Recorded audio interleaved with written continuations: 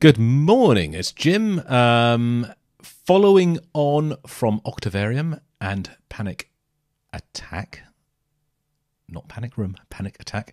This is the third uh, Dream Theater track that um, I've listened to, um, The Count of Tuscany. It's been recommended by an awful lot of people, um, so this is what we're going to be listening to. Okay. What I'm going to be listening to. You've already heard it before, but uh, here we go. So this is uh, the Count of Tuscany Dream Theater from an album called Black Clouds and Silver Linings. Three, two, one, go.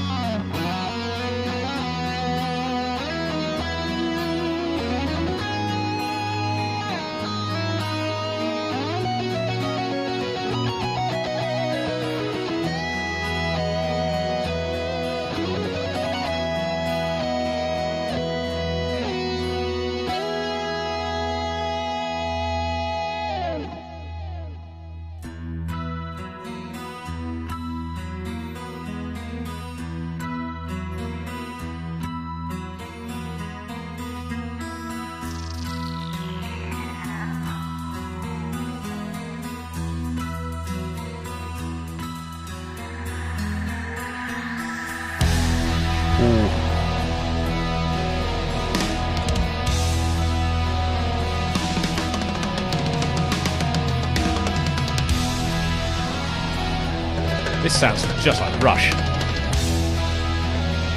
Not just like, but very, very similar to Rush.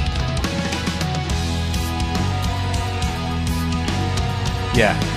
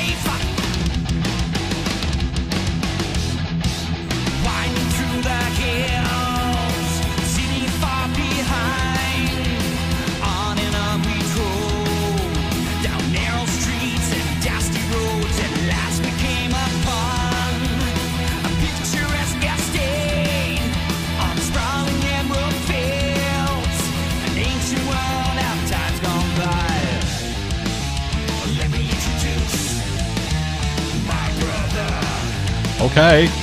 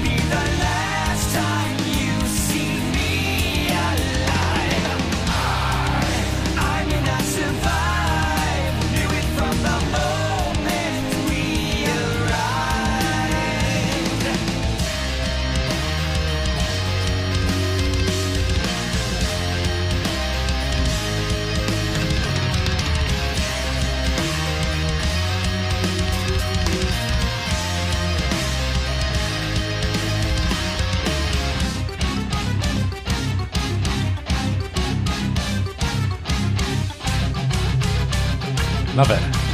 Absolutely love it.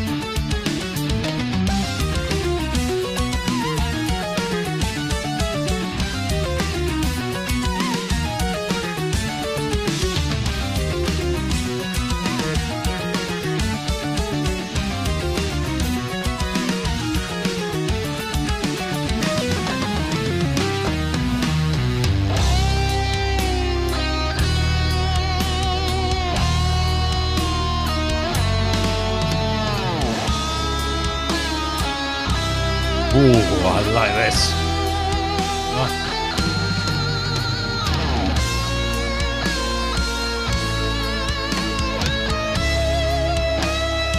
So rich.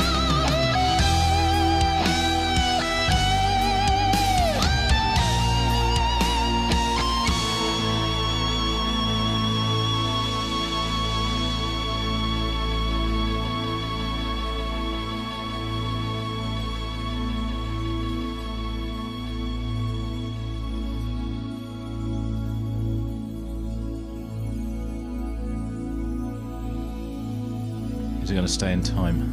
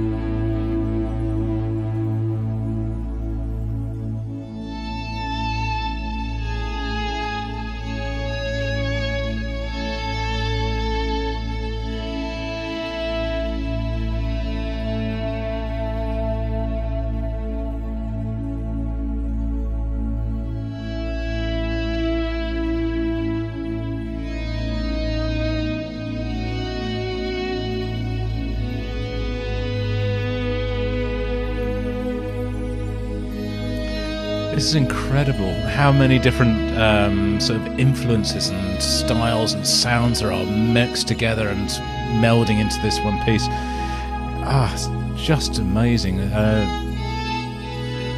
I've lost count of how many there is, but so off the top of my head, you've had Rush. There's certainly Iron Maiden. Um, uh, Seventh Son of the Seventh Son, that era Iron Maiden. This is kind of Vangelisy. There's a Metallica. Um, just just insanely clever and gorgeous.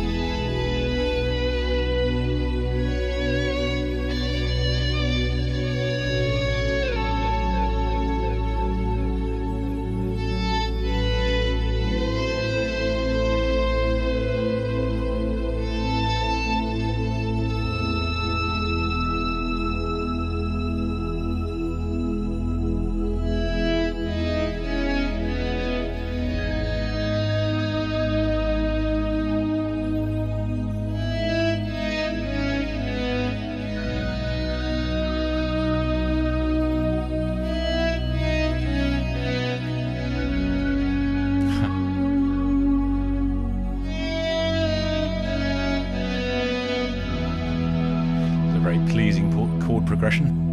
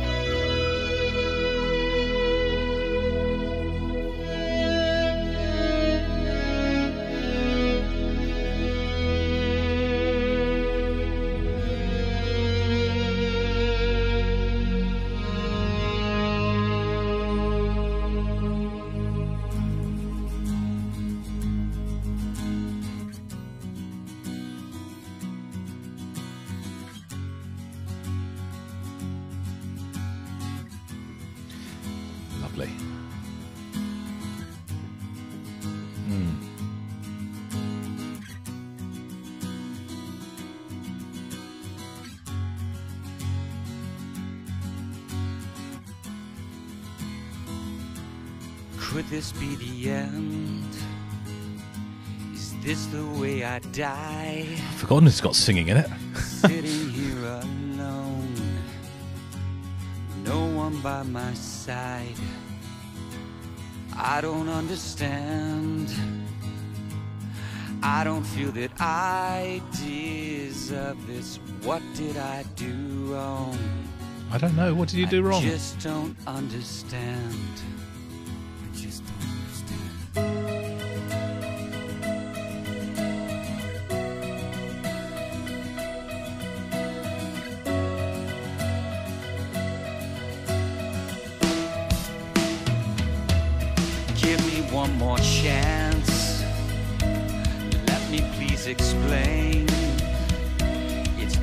Helping circumstance. I'll tell you once again, you took me for a ride, promising a vast adventure. Next thing that I know, I'm frightened for my life. Now wait a minute, man. Oh, there is that.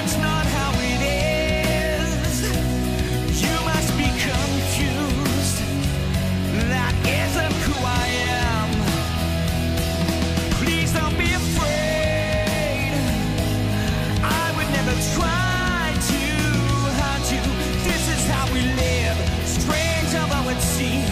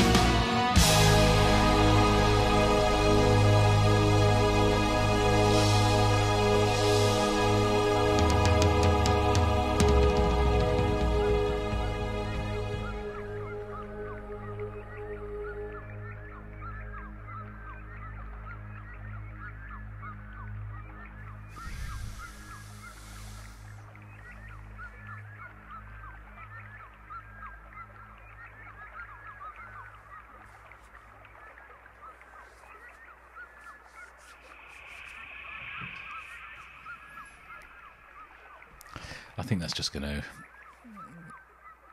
fade out in the background, hopefully, with a little bit of luck. Wow. Uh, I have to say, Dream Theater are not disappointing. They are not. They do not disappoint at all. So, the Count of Tuscany, um, just an absolute uh, melting pot of uh, different uh, influences and styles, and and and ah, awesome, awesome piece of music. Um, I talked a lot through that as we were going along because I just uh, there was so much happening and things were sort of uh, sort of piquing my interest that I just wanted to sort of mention because I'd probably forget about it when I get to the end. Um, absolutely loved that, and um, what I love about this style of music that I'm sort of starting to discover more and more and more about that, that we are calling sort of prog, prog metal, prog rock, uh, progressive music, uh, uh, uh, post rock, post metal, all this sort of stuff. I, I don't know why we have to give it all these uh, sort of silly, funny names. Is it just not sort of like I was going to want to call it symphonic, uh, but symphonic metal is something completely different. That's not what I mean. It is just um, music written in the way that it might have been um, written for an orchestra, but using sort of much more contemporary uh, instruments, so guitars, keyboards, and uh, bass and a drum kit rather than a percussion section. It just feels so symphonic. Uh, it's like a, sort of a symphony. You have sort of an overture, and you have sort of the the the middle parts, and you have crescendos, and um, and it's just. Uh, I don't. I don't really know. Um, di- yeah, different movements almost. Uh, it's just. I absolutely love it, and it's just so the antithesis of um, this absolute disposable three minute, four minute pop song that uh, most of the world is is listening to and is used to. Um, this has got so much more substance and meat on the bones and kind of means something um, in a in a way that a lot of uh, of much shorter music doesn't, and that that's perfectly. I'm not I'm not I'm not trying to dis uh, uh, music at all, uh, pop music because that's not what I'm trying to do. Um, I it is absolutely fundamentally important uh, to a huge amount of people. And to me, to some extent as well, uh, you can't.